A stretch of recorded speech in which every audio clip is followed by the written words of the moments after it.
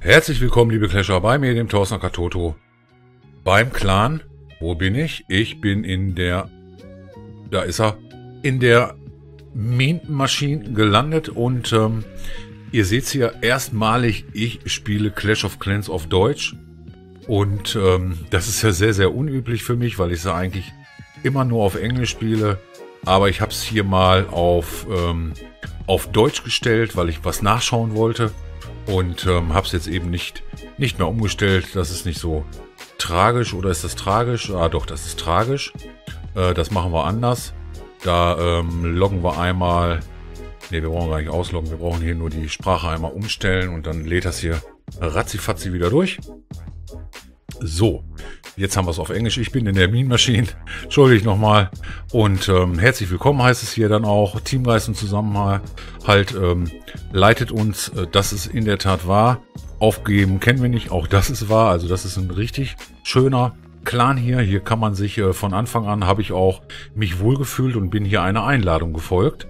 Nämlich von der, ich glaube, es ist die Freya, die mich hier eingeladen hat.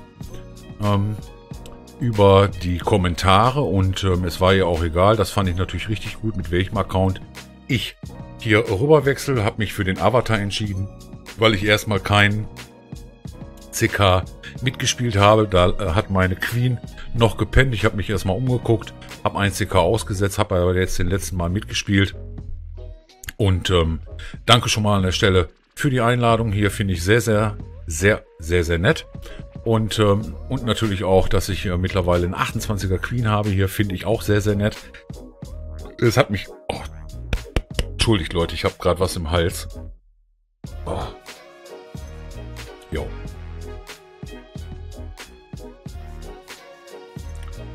Ich habe zwar ähm, hier ein paar Gems dafür gelassen, aber ja, ihr seht's, mit dem Avatar habe ich auch nur Gems gesammelt, habe äh, hier nie welche für ausgegeben, weder für für Schub noch für irgendwelche Bauzeiten und ähm, ihr seht das hier auch selber, der AFA geht auch hart auf RH10 zu. Ich habe jetzt noch sieben Heldenlevel und drei Mauern. Also es wird Zeit, dass das Clash of Clans Update kommt. Aber wir gehen, na, wir können hier noch rübergehen. Ah ne, wir haben schon wieder gestartet. Ähm, oh, oh, oh Mist. Äh, wir gehen hier ins Warlock rein. So ein bisschen habe ich ja das Gefühl, wenn ihr heute Nachmittag das zweite Video seht, dass ich den Leuten irgendwie Pech bringe. Und ähm, ja, wir haben 40, 41 verloren. Sehr, sehr unglücklich hier, muss man sagen, obwohl wir gar nicht alle Federn gelassen haben. Ähm, leider hat der Gegner etwas mehr Federn noch offen. Das heißt also, es war wirklich bis zwei Minuten vor Schluss hier noch ganz, ganz offen, ähm, wie der Gegner hier angreift. Also ihr seht das, unsere 1 hat auch nur einen Stern gelassen. Dafür wurden dann hier unten die etwas höheren Neuner dann gedreiert. Ja, das war, das war wie gesagt, ah nee, das ist ja der Gegner, Entschuldigung. Bei uns waren, nee, hier waren zwei drauf, zwei auf eins. Hier haben wir nämlich nur ein, leider nur einen Stern gemacht, Wir hatten auch nichts zum Ausgleichen, das haben wir jetzt eben mal besprochen. Da wir ähm, hier oben natürlich ein Zehner und danach hast du nur noch äh, Neuner, dann ist es schwer, wenn ähm, der Zehner, so wie in diesem Fall, leider nur einen Stern holt ähm, das mit einem Neuner auszugleichen.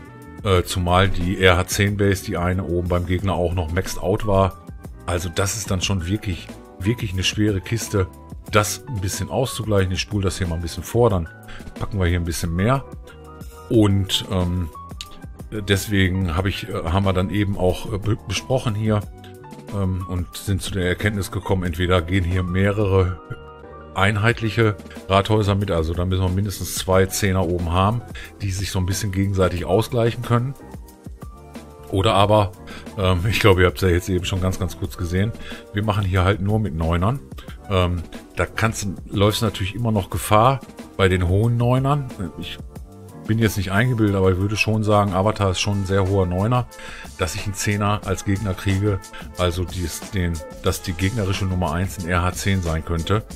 Und ähm, ja, da muss man dann sehen, wie man aus der Nummer rauskommt. Und ähm, aber die Suche ist ja noch am Gange. Ähm, während ich hier mal so ein paar Angriffe zeige. Also hier geht es bei Rathaus Level 7 los.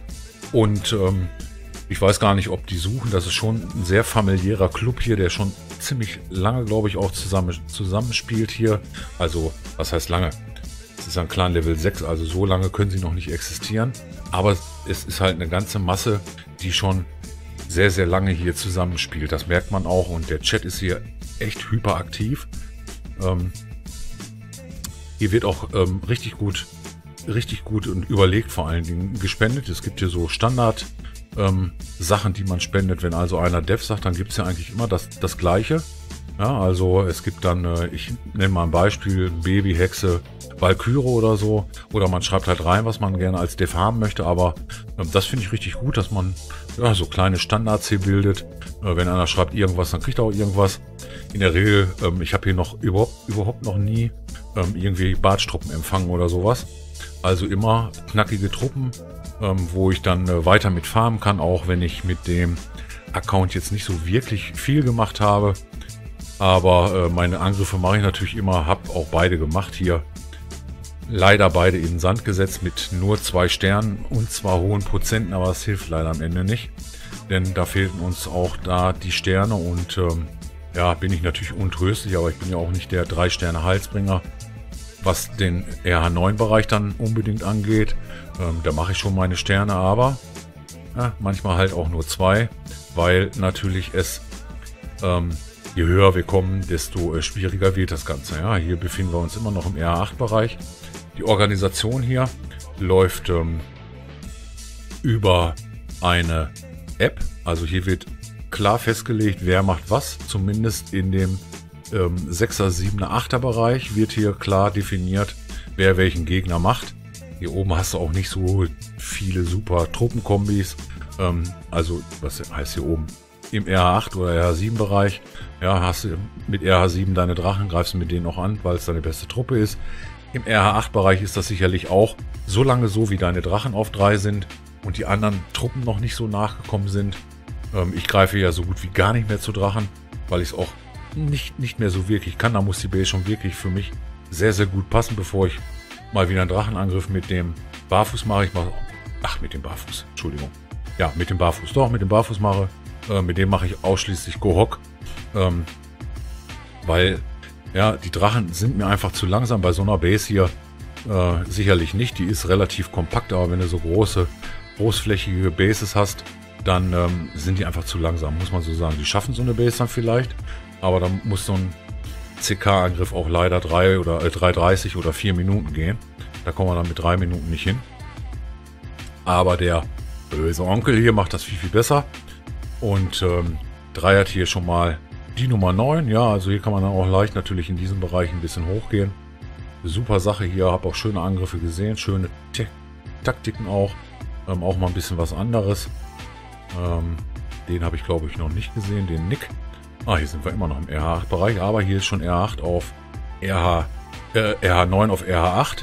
Okay, aber das ist, das ist zum Beispiel eigentlich schon so eine Base, wo ich sagen würde, ah, mal gucken. Aber gut, hier hast du natürlich nur eine La.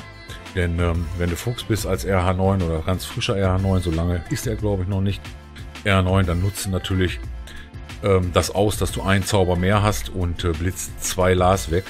Äh, das ist schon ein Riesenvorteil hier. Und äh, so machst du hier halt die sehr, sehr hohen Achter. Wir sehen das hier, wir sind schon bei 7 und haben noch kein RH9. Ja, also vieles spielt sich hier in diesem Bereich ab. Und ähm, ich denke mal, in diesem Bereich hier kann man auch dann hier ähm, ruckzuck groß werden. Also mit ähm, RH8, RH7, RH8, dann Richtung RH9 gehen. Ähm, es gibt ja auch keine, ich glaube, es gibt keine Rusher, es gibt keine ähm, Engineering äh, äh Bases hier. Ist also alles schön immer, äh, ich, ja, ich will mal so sagen, durchgemaxt. Ja? Truppen schön gelevelt. Ähm, Helden auch gelevelt. Sehen wir ja hier als frischer RH9 hast halt einen King auf 10 und ja, kommt die Queen ein bisschen nach.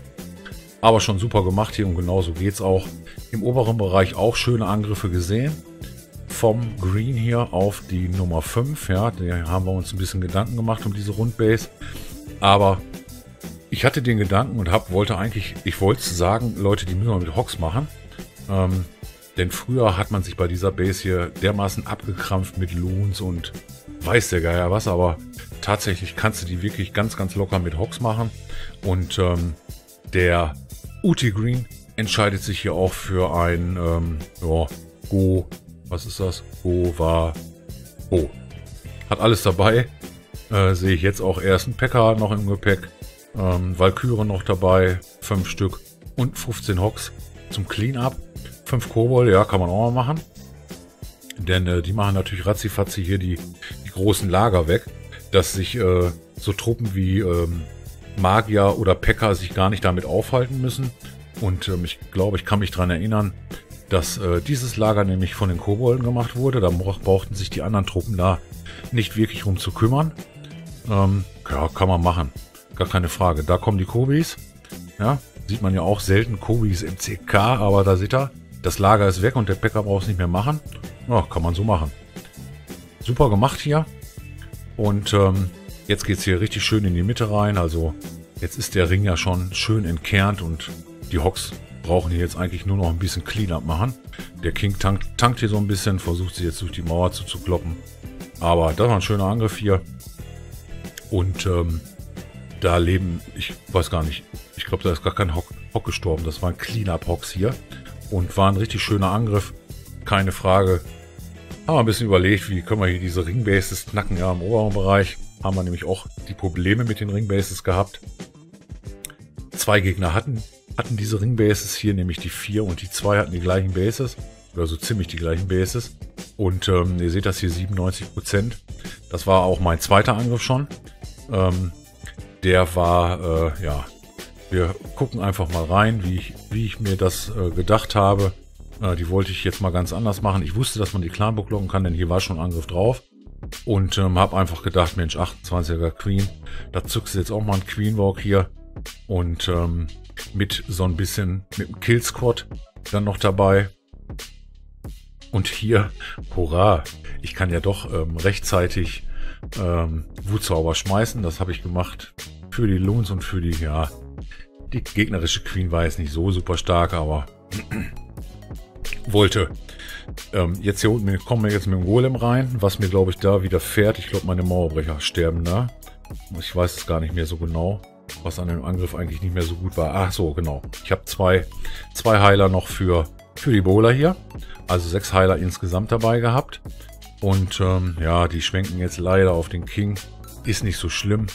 Ähm, dann geht der Bengel wenigstens richtig durch. Und äh, wollte meine Valkyren jetzt noch gar nicht setzen, weil ich gedacht habe, naja, komm, der King latscht sicherlich jetzt erstmal rum. Und ähm, hau hier in Wut rein und dann wollte der King doch da rein, weil da vorne die Ecke schon geklärt war von der Queen.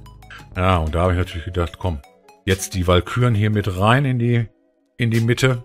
Dann entkehren die hier super schnell alles. Machen die auch. Ich hau, so ich hau nochmal, glaube ich, einen Wut drauf. Ähm, dass das hier noch fixer geht und die sich einfach da durch die Mauern fressen. Jetzt kriegen die natürlich gut Beschuss von allen Seiten. Und ähm, aber hier unten geht der King auch noch mit einem paar Valkyren durch. Der Golem hier tankt richtig gut unten die Mauer. Ja, richtig scheiße nämlich. Da waren die Mauerbrecher ein bisschen zu weit rechts gesetzt, äh, dass der hier wenigstens mit in die Base geht. Ähm, also schlechter Tank. Ah, jetzt kommt er endlich raus. Ähm, ja, jetzt müssen wir einen Speed-Zauber haben. Aber meine Queen geht da drüben noch ganz gut durch. Und jetzt haben wir auch nicht mehr viel Def, aber ich habe auch keine Valkyren mehr. Ähm, hier unten sind meine ähm, Barbaren noch von dem, von dem King. Und der Golem tankt hier jetzt ganz bequem die beiden Devs. Da oben macht meine Queen ganz bequem die die Restdev und äh, die restlichen Gebäude und äh, jetzt musste ich meine Queen schon zünden, äh, denn da unten hatte ich jetzt nur noch eine Kanone und ihr seht selber in den Ecken. Ich sag's ja eigentlich immer wieder. Ja, die Bauhütten des Todes. Weise immer darauf hin, denkt an die Bauhütten, Leute, und mach es selber nicht. Wie es so ist, na, so ist das bei, bei Murphy ja auch immer. Also ich weiß nicht, was mich da geritten hat. Ich meine, das wären jetzt äh, vier Bogies gewesen oder von mir aus zwei zwei ähm, äh, Barbaren, die jetzt einfach hier Bauhütte nach Bauhütte ablaufen. Und ähm, ja, das schaffe ich natürlich jetzt mit der Queen leider nicht mehr. Also wirklich unglücklich hier. Und ich habe nicht dran gedacht, Bauhütten. Ah ja, ja, das ist mal wieder ein Plan. Und ähm, naja, können wir nichts machen. Ist halt so gewesen. Aber leider hier oben müssen wir ein bisschen, bisschen üben. Ja, auf so eine Ringbase hier. Ähm, da muss man jetzt nämlich schon 9er raufschicken, weil leider unser RH10 49% ganz, ganz knapp am Rathaus war. Ich habe auch gleich an meine 49% Folge von gestern erinnert, wo mir das gleiche ja mit meinem RH10 eigentlich widerfahren ist. Und ähm, ja, äh, diese Ringbases hier sind äh, mit Drachen aus dem RH9-Bereich. Ja, sie sind, sie sind zu machen, gar keine Frage. Ähm, ob man damit dann tatsächlich äh, bis zum RH kommt, ich meine, oh, da sind wieder meine vielen, vielen Termine. Mein Speicher ist immer noch voll. Ähm, ist ein Bug in der Software, ja. Und ähm, das habe ich mittlerweile im Forum nachgelesen. Und ähm, ja, ich meine, er kommt hier bis zum RH, aber dann wird es auch schwer, gegen die Feger und ähm, gegen die Infernos hier anzustinken. Und so waren das hier erstmal nur 44 Prozent mit den Drachen. Kann jetzt aber noch ähm, ein paar Prozente mit seinen Helden holen. Und äh, von vorne brauchst du die dann tatsächlich nicht mehr schicken. Die wären zwar hier jetzt auch aufs Rathaus gegangen, aber sind wir ehrlich, der 25er Queen, äh, King hätte hier von diesen beiden Teslas Beschuss bekommen und auch von dem Inferno. Das hätte der nicht lange überlebt, zumal, ach, da kommt noch zwei X-Bogen da hinzu. Also das überlebt er nicht lange. Und die Queen wäre dann sicherlich auch unter Umständen erstmal hier raufgegangen. Ja, das kann man testen, aber so als RH9, da fehlte, da fehlte der Zauber. Die fehlt, äh, die fehlen 20 Truppen und dann ist es schon, ist es schon schwierig. Und deswegen, ähm, wenn ihr also auch so einen Clan habt, wo er so ein RH10 und das nächste kommen als RH9, ist, finde ich, schwierig. Denn so ein Zehner dann zu kompensieren, das haben wir hier nur in Teilen geschafft, ist dann auch sehr schwer. Ähm, aber nichtsdestotrotz, ich bleibe noch ein wenig hier. Äh, denn, wie gesagt, es gefällt mir hier sehr, sehr gut. Ähm, auch wenn ich hier nicht so oft on bin. Einer hatte mir das auch geschrieben, ähm, dass äh, ich äh, so ein bisschen hier rumschleiche. Ja, das stimmt nicht ganz. Ich gucke hier immer mal wieder rein, aber ich mache tatsächlich, man sieht das hier auch, ich habe echt nicht viel Dunkles. Ähm, eher wenig im Moment mit dem Account hier. Der kann ruhig ganz, ganz langsam noch weiter hochgehen. Ich möchte da gar nicht so stark auf RH10 gehen. Möchte erstmal auf RH9 noch meine CK-Sterne machen und ja, ihr seht, das Gegner ist noch nicht gefunden. Ich bin ganz oben. Wir spielen also only RH9, RH8, RH7. Trotzdem einen knackigen 20er. Ah, das freut mich, das ist super. Ähm, hier greifen auch dann, ähm, ich glaube, ich denke mal, es haben alle angegriffen. Zumindest ähm, ist es hier nicht verpönt, dass man hier dann Übungsangriffe macht auf höhere Nummern. Ja gut, hier unten die beiden haben das, äh, oder die drei haben das, das nicht, nicht mehr genutzt. Ja, sie hätten auch nichts mehr reißen können. Da ist das sicherlich nicht ganz so kritisch. Aber es ist, ist nicht so schlimm. Ich denke mal, wir bekommen das Kriegslok hier wieder grün. Und ähm, heute Nachmittag kommt ja noch eine Folge mit dem, mit dem Chief. Ähm, auch da habe ich nicht wirklich ein glückliches Händchen gehabt. Mit dem Clan schon, aber leider nicht mit dem CK. Aber das könnt ihr euch selber angucken. Sind ein paar wirklich schöne Kämpfe dabei und da sehen wir auch mal wieder ganz, ganz andere Bases, ähm, als das ihr von mir gewohnt seid. Und ähm, was habe ich noch vergessen? Ähm, Stream-Ankündigung heute 19 Uhr. Ja, habe ich noch gar nicht gesagt. Ja, ich will heute Abend 19 Uhr, glaube ich, ähm, anfangen zu streamen. Vielleicht wird es auch 20 Uhr, ich habe mich da noch nicht festgelegt. 19 oder 20 Uhr. Ähm, ich blende euch das ähm, am Ende auch nochmal mit, äh, mit ein und äh, werde das auch in die Beschreibung mit reinschreiben. Und ähm, ich hoffe, dass wir ein paar Stunden wieder nett zusammen äh, clashen können. Was auch immer ob das äh, bei uns im CK ist, der dann nämlich schön wieder anfängt. Also da kriegen wir sicherlich was zu sehen. Ist auch knackig. Ähm, das wird richtig bombig. Und ähm, ich muss eben wieder ein bisschen, bisschen rumfahren, farmen. Und ähm, ich denke, es gibt auch einiges zu diskutieren. Da freue ich mich auch drauf. Und ähm, also wie gesagt, ähm, heute Abend 19 oder 20 Uhr. Ich kann mich noch nicht genau festlegen. Vielleicht bringen wir auch kurz vorher noch ein kleines Video, wenn ich die genaue Zeit habe. Aber ähm, Ihr bekommt das sicherlich irgendwo mit, wann ich denn ähm, anfange. Und ähm, ich würde sagen, dann sehen wir uns in jedem Fall bei einer weiteren Runde Clash of Clans mit mir, dem Thorsten. Und tschüss.